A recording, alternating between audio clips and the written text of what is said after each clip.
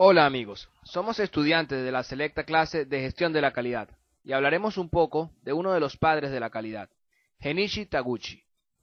En esta presentación hablaremos de quién es Taguchi, sus aportes y daremos un breve ejemplo del método Taguchi. ¿Quién es Taguchi? El 1 de enero de 1924 nace en Japón Genichi Taguchi, graduándose en la Escuela Técnica de la Universidad de Kiryu en la carrera de Ingeniería Textil. Más tarde recibió el doctorado en la Universidad de Kyushu en 1962. Taguchi ejerció varios trabajos, entre ellos figura el realizado en el Departamento Astronómico del Instituto de Navegación del entonces Imperio Japonés. Posteriormente, trabaja en el Ministerio de Salud Pública. Sin embargo, su principal etapa profesional ha sido dentro del Laboratorio de Comunicación Eléctrica de la compañía telefónica Nippon. Posterior a esto, fue profesor para la Universidad Aoyama Gaokin de Tokio y consultor para empresas tan importantes como Toyota Motors y Fuji Films. Perteneció a diversas asociaciones, entre ellas se destacan la Asociación Japonesa del Control de la Calidad, la Asociación Japonesa de Ingeniería Industrial y la Asociación Japonesa de Estadísticas Aplicadas. Entre sus publicaciones destacan la introducción a la ingeniería de calidad, el sistema de diseño experimental, la ingeniería robusta y el sistema Mahalanobis-Taguchi. Taguchi obtuvo reconocimientos tales como la medalla William Rodwell por el Instituto Internacional de Tecnologías en 1986. En 1989 le es concedida la medalla con banda púrpura al avance tecnológico y económico por el emperador Akihito el premio Deming en cuatro ocasiones por sus aportaciones sobre calidad. También ha sido ampliamente reconocido como líder del movimiento de la calidad industrial en Estados Unidos. ¿Cuáles fueron los aportes de Taguchi? Luego de la Segunda Guerra Mundial, los fabricantes japoneses tuvieron que luchar para sobrevivir con recursos muy limitados. De no haber sido por las mejoras de Taguchi, el país quizás no hubiera alcanzado el éxito que logró más tarde. Taguchi revolucionó el proceso de producción en Japón, a través del ahorro de costos y su relación con la calidad. Él entendió, como muchos otros ingenieros, que todo el proceso de producción era afectado por influencias externas. Sin embargo, se dio cuenta de que si podía identificar este ruido a través de métodos tendría grandes efectos sobre la variabilidad de la calidad de los productos.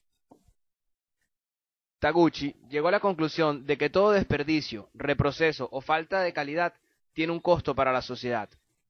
También tuvo dos conceptos fundamentales siempre en mente, productos atractivos al cliente y mejores que los de la competencia, mejora continua y la función de pérdida, una de sus principales contribuciones a la mejora de la calidad, una ecuación que cuantificaba el descenso del valor percibido por el cliente a medida que caía la calidad del producto. Fue la primera persona que igualó la calidad con costos. La calidad se debe definir en forma monetaria por medio de la función de pérdida donde a mayor variación de una especificación con respecto al valor nominal, mayor es la pérdida monetaria transferida al consumidor. La contribución más importante del Dr. Taguchi ha sido la aplicación de la estadística y la ingeniería para la reducción de costos y mejora de la calidad en el diseño de productos y los procesos de fabricación. En sus métodos emplean la experimentación a pequeña escala, con la finalidad de reducir la variación y descubrir diseños robustos y baratos para la fabricación en serie. Las aplicaciones más avanzadas de los métodos Taguchi permiten desarrollar tecnología flexible para el diseño y fabricación de familias de productos de alta calidad, reduciendo los tiempos de investigación, desarrollo y entrega del diseño. Uno de los aspectos de la metodología de Taguchi es la función de pérdida, la cual enuncia que hay un incremento de pérdida, la cual es una función de la desviación o variabilidad de un punto ideal o meta de cualquier parámetro diseñado. La función de pérdida se enuncia como sigue,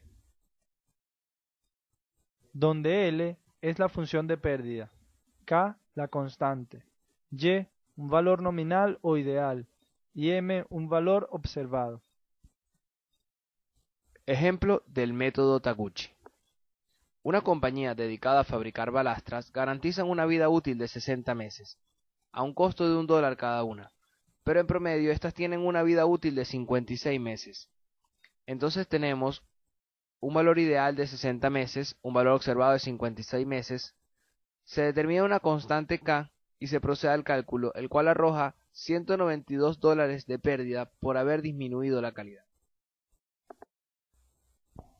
A pesar de que diseñadores y catedráticos han argumentado que los métodos de Taguchi no siempre proveerán las mejores soluciones, esta técnica no es solo una aplicación estadística en el diseño de experimentos. Sus métodos incluyen la integración de la estadística conjuntamente con la ingeniería de proceso. Además, es una técnica aplicable a cualquier proceso que de manera sencilla nos muestra el grado y costo de pérdida que un producto o servicio puede perder por alguna falla de calidad en el proceso. Es por esto que es uno de los grandes logros de la ingeniería del siglo XX. Este trabajo fue realizado por Rodolfo Barbera y José Piñero, estudiantes de Ingeniería Industrial de la Universidad de Carabobo, Cátedra Gestión de la Calidad, profesor Agustín Mejías. Gracias por su atención.